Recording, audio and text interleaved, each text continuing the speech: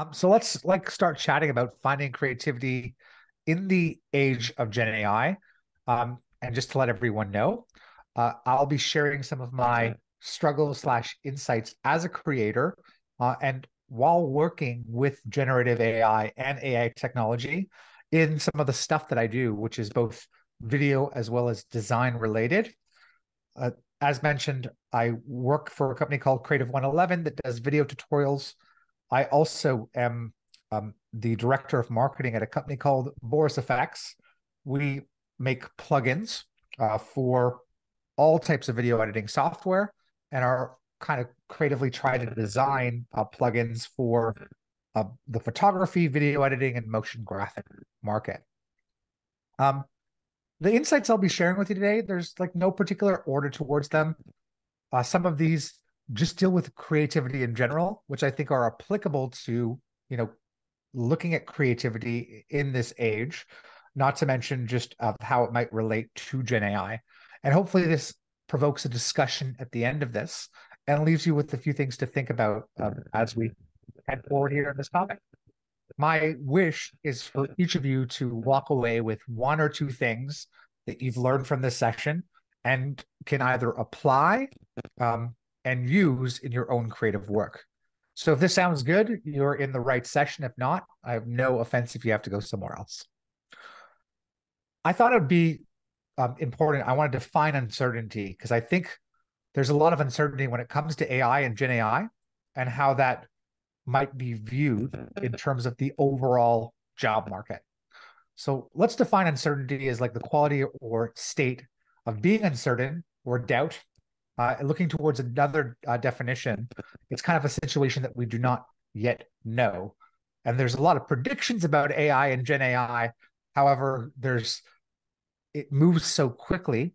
It's being implemented so uh, as well fast in terms of our workflow, sometimes hard to keep up. And with that is a lot of uncertainty. Now, I just read this recent um, note from Indeed, which is that generative AI uh, will no doubt. So, speaking of doubt and uncertainty, they're saying no doubt it's going to affect all jobs. Indeed, uh, the market says. And just to preface this, uh, when they said this on September 21st, they're saying skills from every single job can now be done or augmented by generative AI, and that we'll start to see them become affected in this way. Uh, that in itself just presents a whole amount of uncertainty, and I think to some degree could also affect our own creative processes.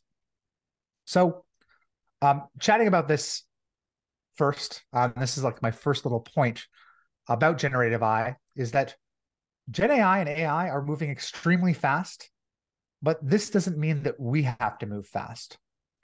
I just took part in an AI um, machine learning conference about two weeks ago, and every single one of the instructors there on a panel mentioned that they are exhausted teaching this stuff, let alone someone uh, from a perspective of learning this stuff. If the trainers and the people creating this technology are tired, uh, obviously, I would say that there is an element to it not all being absorbed of how it's going to be useful. I also say that just because something is being created quickly uh, from a technology perspective doesn't mean that we have to react and move as quickly. In fact, a lot of the stuff that I see produced in a Gen AI base, if we're talking about, let's say, text to still generation, is still in the ver- uh, very early ad um, adventation stages uh, even more so with video. So, one thing to do with any creative process uh, that has been beneficial to me is to slow things down. Um, we don't have to be tethered to our phones. Uh, I think it's important, though, to be involved in the conversation. I also think it's important to take a step back from technology and see what parts of it, after you understand it, could be useful for your workflow and benefit you. Um, and not necessarily feel like you have to catch up because I can't even catch up. I also consider creativity in general to be a marathon and not a sprint. You know, this is something that you are going to apply over and over again across multiple years, if not decades. And keeping that in mind, part of the creative process, I think, is to find something um, that you to action, but even more importantly, something that you can action continuously. Uh, so that is finding something where you can take small, maintainable actions that will then compound themselves over time. A lot of times when you might look at a big project or at the pace of technology is is moving, that could feel overwhelming. The plan is to find small chunks that you can um, learn in, not to mention um, maintain and keep on maintaining it so that it then becomes compounded and becomes to your advantage. Uh, to give you an example here of a marathon, I'll remember my first time presenting and putting together a deck of slides. This took me probably, it was a 50 minute talk, took me two months to put together these slides. And if I did the same topic today, this would probably take me two or three days. And that's because I've presented so much and gone through that working process and now have these small maintainable um, actions that I have in place that help get the job done faster and more efficiently. I think the same is true here when we think about creativity next to Gen AI is as we learn about this and how it could be helpful to our work, not to mention not helpful to our work, take it in stride. I always like to mention, uh, just in general, when we talk about creativity and finding creativity in any age, it's really important to look at the highest level of that. And that is, well, how creative are you, or how creative do you consider yourself to be? Seldom, I think, in the process of work, um, not to mention uh, in the process of our own creativity, do we take a step back and say, oh, how creative do I consider myself? Like, what am I doing to, uh, that as an action that I consider creative in the first place? Well, I'd usually take a moment to pause right now uh, in past presentations uh, for this checkup. I would recommend just taking a screenshot right now. That this resource of, of questions actually uh, was formed with the help of David Usher, who has a book called Let the Elephants Run, which is all about creativity. And his whole idea was like, let's talk about a creative checkup. I took this, uh, ran with it, and then added some questions of my own that I check in on on uh, pretty much a bi-weekly basis. And that's just, well, how creative are you?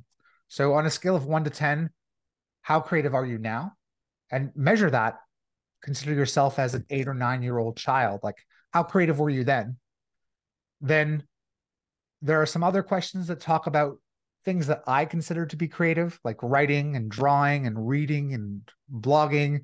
What type of creative actions are you doing currently in your own field of work? Um, not to mention just on a personal level. So, if everyone wants to kind of take a screenshot of this right now, and since I do want to pause for about 30 seconds, I do want everyone to sort of approach maybe two or three of these questions that you see. And if you found something beneficial right now, please feel free to mention in the chat and and if this provoked something inside of you. Let's uh, move on to a couple more points here. I think it's important when we look at AI and Gen AI is to come from it a perspective to understand some of its capabilities and think about how it might be able to assist us in our creativity um, creatively and through ideation. I'm going to give a few examples of how I use it and have used it. Uh, we'll specifically do the Gen AI right now, but we can also talk about AI. Um, primarily, for me, this comes in the form of text to image creation. Uh, as a tool, I primarily use Midjourney. Uh, this is one of several Gen AI apps that you can use. And I find myself using it in a way where I more than likely in most cases I don't actually take the images that are produced at face value. So as someone who works with video and motion graphics, I'll use Midjourney to create very generic type images like textures um, that then get overlaid on top of video, little particles um, that I then plug into a specific effect. And then I combine that um, in the creation on top of a video, or let's say in the creation of a, um, a lower third motion graphic. Another use case I could do, I just actually did all this um, video work, not to mention motion graphics for a show here in Toronto, where I'm just outside of it, about an hour away. And I did uh, what is known as a VOG or Voice of God, where they had asked me just to, to ask people to come into their seats before the show. Recently, I've used a service it's called Eleven Labs. And what you can do is you can give it four hours of your own voice, and it will clone your voice for you. The voice clone is somewhat accurate and a little bit scary in some degrees. But as uh, someone who creates content, um, as well as kind of visualizes what you can do with that content, uh, two things really uh, struck a chord with me, my own creativity. One was uh, earlier this year, I lost my voice for a span of three weeks. Uh, I couldn't speak, uh, which is a really, you know, hurtful thing when you're trying to present live, not to mention create video content for online. And I've recently started using Eleven Labs for pickups.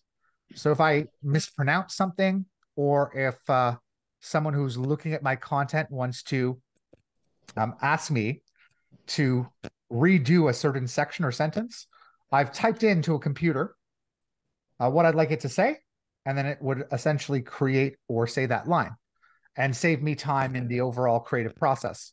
So, not so much as a creative tool, but something that just helps with my productivity in getting a final product out. The thing that really blew my mind is now with 11 Labs, I speak fluent French. I don't speak French, I should as a Canadian, but uh, it will take my voice and allow me to speak French by simply typing it into 11 Labs. And then I have now um, a transcription that I can use. I just think to myself, like in the world of uh, if you're in feature film and have ever watched a film with audio dubbing, usually there might be a disconnect from if you already know the original actor's voice. So now picture Morgan Freeman um, or actors, which I think will come, speaking in all of these languages, but in the presence of their own voice. I think that um, to be a very useful thing although there is a lot of controversy beyond that, uh, as in two useful things uh, that I use in my own workflow, these this Gen AI content. Again, I, I've seen a lot of examples of, of this in other ways, but as a piece to an overall story or puzzle, I think Gen AI has a place in AI in terms of productivity. And using or learning some of these tools and how they might assist you with your work can be very helpful. Um, one other note on this is I have used uh, AI in general, Chat GPT, to help me ideate when I have been stuck on ideas. And if you know how to um, talk to Chat GPT, it is pretty incredible some of the information that it will give you. Uh, there's a course on LinkedIn Learning uh, by an author. His name is David Burse. Uh, I will try to get the name of these courses but he just sort of talks about how you can have a dialogue with ChatGPT to potentially get the result that you're looking for. Now, I want to preface this by saying I have never taken anything from ChatGPT and used it just as is. I've always taken it, uh, in some cases, completely reconstructed it. In some cases, just taken a sentence that has brought new life into something that I've already written. Uh, so there are very seldom moments where I'm taking AI out of the box and using it as it is. I, but in terms of giving me new ideas or helping me ideate, it is a completely cool and new way to experience things through my own personal experience. Um, I've done this a few times where I've asked it just to ideate the idea for a name of a title for a catchy YouTube video. So I have my own five ideas and I say, what do you think of these? It will give me feedback on that. And I say, we'll come up with a hundred more uh, based on the description that I filled out, and it will. And usually it ends up being a blend of those titles. And every once in a while, it's gotten a title way better than I would have ever imagined, um, which is, I think, kind of cool. So I think in thinking about what tools are available to you can help with your workflow uh, when it comes to Gen AI. And how this might be able to help with your workflow and assist with your creativity. In an age where content or more content is needed, at least that is the premise. You need YouTube content, Instagram, LinkedIn. There are a number of ways of automating your process. And I do consider both Gen AI and AI tools to allow you to assist and become more productive if you understand them and use them. In Just general, sorry to interrupt you. Just uh, to let you know that we have still 10 minutes uh, to the end of the session. Cool. No problem. Thank you for letting me know. And um, I just have a few more points to cover just before the end. In no problem. General, we're gonna still have a bit of um, time as we we're going for a yes. break, so don't worry. Okay. Awesome. Cool. Yeah. So I um on another point, um I think it's important to give yourself time to be creative, and this the room for creativity in the world of Gen AI is also is extremely important information with technology is coming in at us very fast. And as creators, it's important for us to carve out what is important um, for wherever we, we would like to progress to. So when I consider room, I say, I'm going to start off by saying room equals time, giving yourself time and devotion towards your creative acts. And this could be as easy as just allowing yourself to get close to the work um, in moments where you're not feeling so motivated to do it. But again, going back to that form of consistency or going back where you do little bits every single day. I think time means um, finding the best creative hours of when you work. Uh, for me, this is in the morning. For some people, it's at night. I will find out that if I start work in the morning between the hours of six and 11, I will get quadruple what I can get done after 5 p.m. No joke. So that ends up just be um, if I can find those hours and carve out those hours of when to work, this is going to help um, exceed the uh, creative acts that I put out. I think uh, when we talk about room, I always love to talk about reactionary workflows as well. And I refer to a reactionary workflow as a moment where stress and anxiety starts to feed into the creative process or act.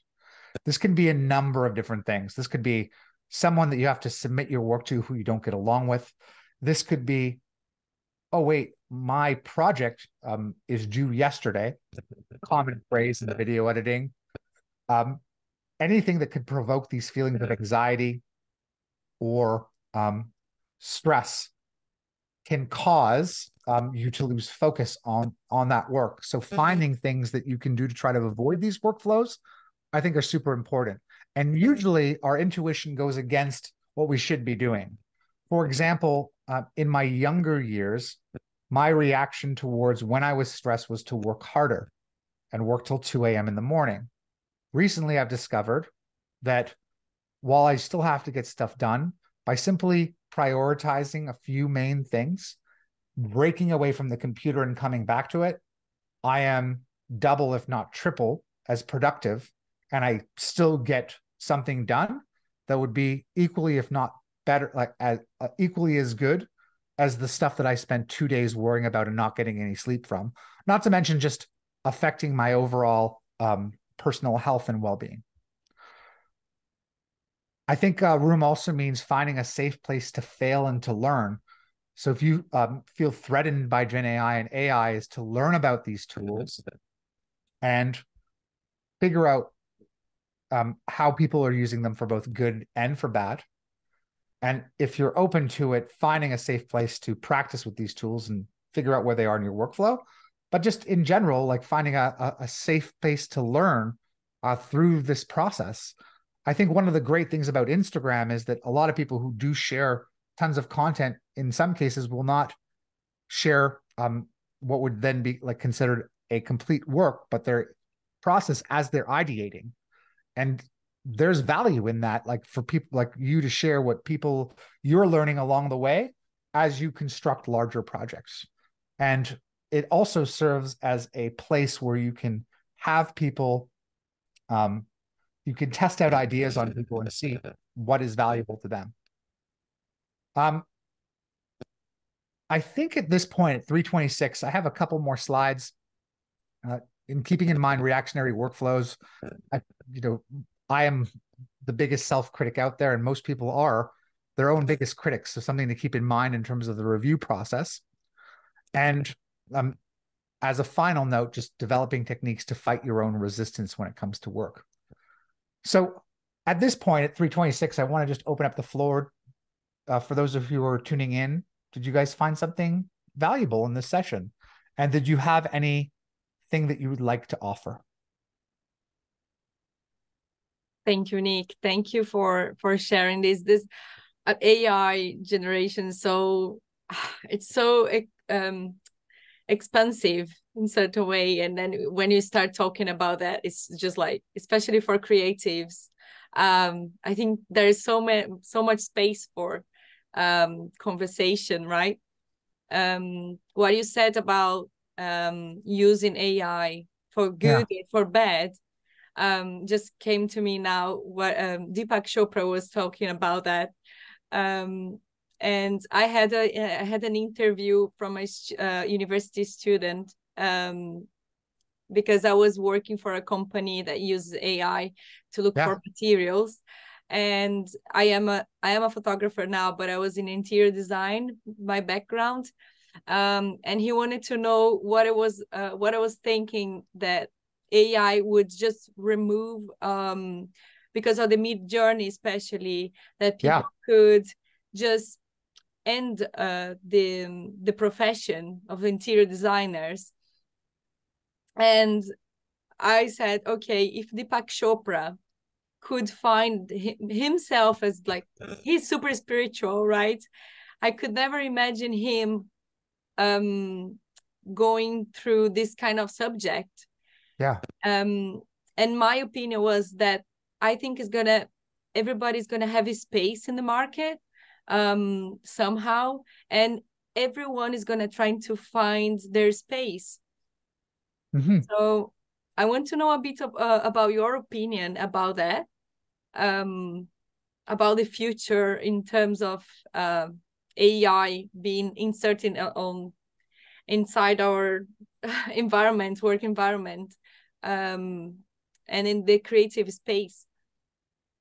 I it's such a great question. Um, I am still mostly of the philosophy that this is going to serve as an assisting tool to us to help us create better story in the long story of creativity. Um, and I agree with you to hear it's not going to take away imagination either. I think it's moving very quickly and people are when they see that quick and rapid pace it could be stressful um, and anxiety driven and mm-hmm. ridden. But i in larger form projects i'm just going to let you know i would never trust gen ai by itself at, at this moment. Uh, i still see it as the tool for assist and i see it actually helping us create more content. Whether that's needed or not is another other story but i do see i see it helping people create more content and I also think that it's going to be a massive disruptor where, in some cases, large corporations could be challenged with mid tier companies who can work with less people and create equally as much. Uh, so I see it to be a disruptor, but I see that disruption taking several years, if not decades, to ripple its way through the system. Um, I've always been someone like from a personal level who has had their worst work disrupted to them for some degree. Uh, so I, I want to preface this by saying the first time when I was 20, I grabbed this Mac G4. It was under a gigabyte of RAM, you know, and I, I used to think it was a spaceship. This was right after university. I'm like, this is going to get me through video editing and everything like that. Three years later, I had to upgrade a computer. Now we're on, you know, upgrades all the time. Things are constantly shifting. Uh, this is uh, definitely shifting quicker more than other things, but I think that there is still time that is going to be needed based on systems um, and how like governments as well as large corporations are structured for it to actually filter its way into how it's going to show up in the workforce.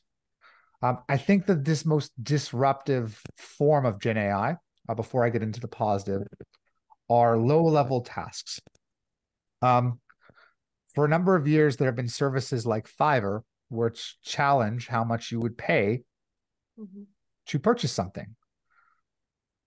I'm going to say that people who are using Fiverr services in a lot of times when they're hiring people aren't looking for value, they're looking for something cheap and cheerful. You know, that's just what attracts them to that site. I think that that type of work is going to be affected the most, where you'll have someone who is looking to save money and will potentially just use these tools on his own to get what he likes. Whether that's going to end up giving him a very great creative um, piece of work is another story. But I think that that type of work is going to be under the most amount of threat when you talk about larger projects like books and film and video um, and larger design projects, I see those getting more elaborate and actually us raising the bar creatively because in some cases we can use these to automate pieces of work. I also think in some ways that that's going to allow um, individuals to become more creatively free because they have more tools at their disposal. Yeah. yeah. So um, yeah, I, I think overall, like there are so many benefits to that. Um, uh, but I also think that there needs to be lots of discussion about this as well. You know, coming into a new election, uh, and and how this stuff could be used by what people call as back, bad actors. You know, there are definitely threats that need to be chatted about. Um, but this um, I, I think Tahira said it perfectly, is not meant for us to, it's not going to take away our imagination. And in some cases, it's limited. You know, it's not, um, it's not thinking by itself, if that makes any sense. So it's trained on a bunch of data in the past. And that in itself, I would say, is at a creative deficit. The one thing that all of us humans have that AI doesn't is that we have eyes in the present and can see changing um, elements much faster than it can. As much as it seems like it is faster in terms of its um, um, compilation and creation of things, we are the ones who are more, at least, tuned in to the present and potentially what is going to happen in the future. Wow. Yeah. That's beautiful. Thank you oh, so thank much. you. and yeah. if anybody wants to ask Nick anything, Tahira, Christina? No. All right. So um I think I can oh, come you. to the end of the session. But Nick, you can just share with us where we can we can find you, your socials, uh, just yes. before I, I finish the session. So oh yes, awesome. Yeah. So go. I'm gonna put this in the thread, but you can um on Instagram, I'm at Nick Harauz. I talk a lot about creativity on that channel. Um, so I reserve it for uh, talks about creativity and little um, tips and tricks. I'm also quite um, I, I'm on LinkedIn quite a bit. I have some courses on there, so that's another great place to reach out to me. And if you guys are here at the Creativity Conference, I have a talk again. I think at 5:30 today, uh, but this time on imposter syndrome and something that I dealt with and sort of growing up through the speaker circuit. Um, and then I'm going to be part of a panel tomorrow on AI which I think will be also very valuable to the community and stuff. Great. I just yeah. saw that Tahira said something. Uh, AI won't take away imagination. Yeah. My, yeah. Yeah, and it can't replicate our connections. And at the same, it's so uh, so great that you said that because at the same time that we see this big push for AI and Gen AI, you're seeing an equal push for live experiences in the creative market. Um, people wanting to to to be more connected to people at concerts, at live events.